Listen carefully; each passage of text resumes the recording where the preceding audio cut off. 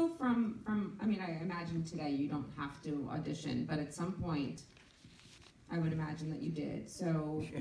how did, um, how did you handle that, and do you use the rejection to boost you to the next?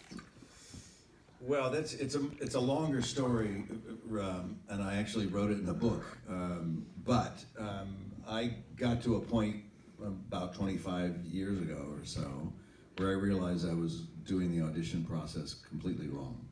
I thought I was going in to try to get a job, and what I realized is that I should go in to do a job, create a compelling character, present it to them, and walk away.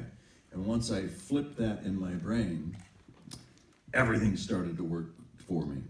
And the other great thing was uh, not to focus on any anything outside of your purview. So any other person's decision making was not part of my psyche. I never thought of it. I did what I did, and you let it go. Yeah, there's a, a teacher I had a long time ago had said, I said, don't view, yeah, don't view it as a time to get it. Do it as a t- as an opportunity to get a couple moments to do what you love. Yeah.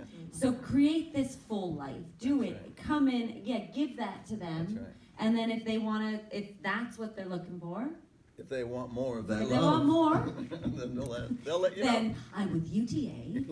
yeah. No, and create